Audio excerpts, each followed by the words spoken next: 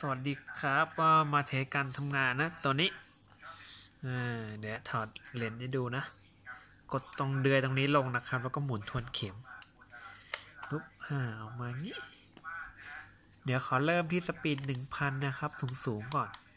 1,000 ขึ้นฟิล์มกดถ่ายฟิล์มเนี่ยต้องขึ้นฟิล์มหนึ่งครั้งต่อการกดถ่ายหนึ่งที อันนี้หนึ่งพันมันก็จะเป็นเร็วสุดนะครับ เดี๋ยวผมลองที่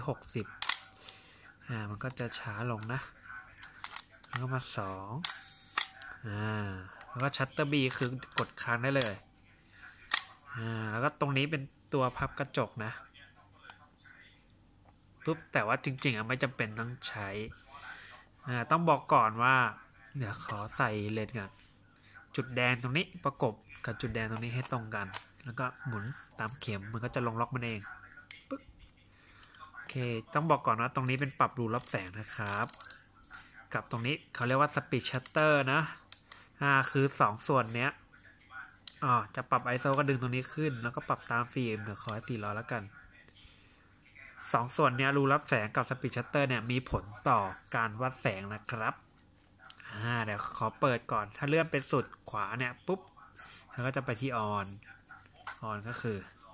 เปิดวัดแสง เดี๋ยวขอถ่ายในช่องมองให้ดู ในช่อมองเห็นไหมมันจะมีเข็มหัวกลมกับหัวแหลม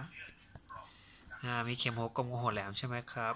เข็มหัวแหลมเนี่ยจะปรับไปตามสภาพแสงนะ เดี๋ยวผมลองเอามือบังหน้าเลนก็ก็จะขึ้นไป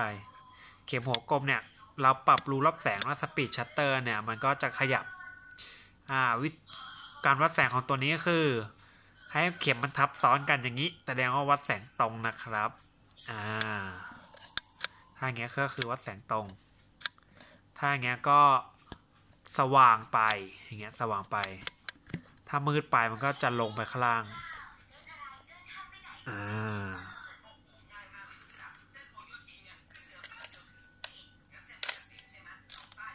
มีเท่านี้การวัดแสงนี่ก็ speed shutter กับรูรับแสงตรงนี้นะ โอเค ตรงนี้คือเลขนับฟิล์มก็มันก็ค่อยๆ ขยับไปทีละหนึ่งนะครับ อ่ากล้องตัวนี้ถ้าขึ้นฟิล์มไม่สุดมันก็กดถ่ายไม่ได้นะ เดี๋ยวลองขึ้นแค่ครึ่งเดียวปุ๊บกดไม่ได้ ต้องชดเชยครึ่งหนึ่งอ่าเลขนับฟิล์มขยับดีแล้วตรงนี้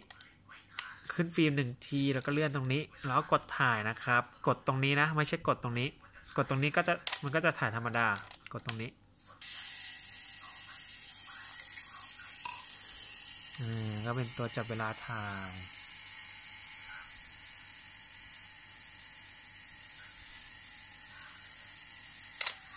โอเค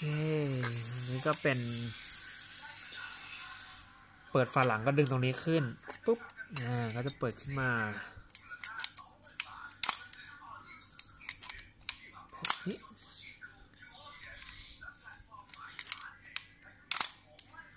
เค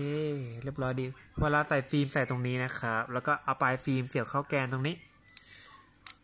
อ่าแกนจะมีร่องอยู่นะเสียบเข้าร่องไหนก็ได้นะครับฮึบโอเคเรียบร้อยดีขอบคุณครับ ประมาณนี้